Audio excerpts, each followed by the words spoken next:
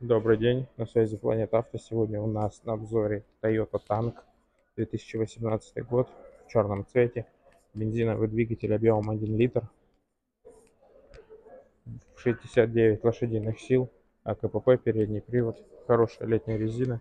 Пробег 45 тысяч километров. Аукционный балл 4. По салону у нас чистый ухоженный темный салон. Не прокуренный